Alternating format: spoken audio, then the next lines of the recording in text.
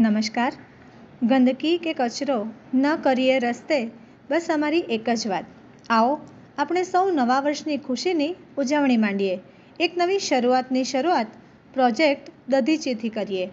Narayan વિદ્યાવિહારના Dadhichi project હેઠળ આવતી ભરૂચની એકાવન સોસાયટીની સ્વચ્છતા સ્પર્ધામાં જોડાઈ સ્વચ્છતાના આ સામાજિક પર્વને ઉજવીએ.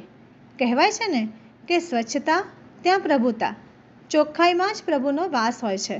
સ્વચ્છતા અને પવિત્રતાને અતૂટ નાતો છે. ઘરમાં દીવાબત્તી કે પૂજાપાઠ સમયે સ્વચ્છતા રાખીએ છીએ કેમ કે એ સુખ શાંતિનો પુનિત સ્ત્રોત છે.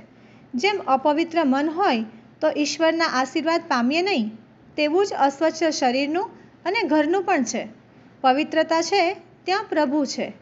આપણા માનનીય વડાપ્રધાન શ્રી નરેન્દ્ર મોદીજી પણ સ્વચ્છતાના સંકલ્પની અપીલ કરતાં કહે છે, વ્યક્તિગત જીવન ટકાવવા માટે અને સમૃદ્ધ કરવા માટે અમુક વ્યવસ્થા અને સ્વચ્છતાની જરૂર છે. એમ સમાજ જીવન ટકાવવા અને સમૃદ્ધ કરવા માટે પણ અમુક વ્યવસ્થા અને સ્વચ્છતાની જરૂર છે.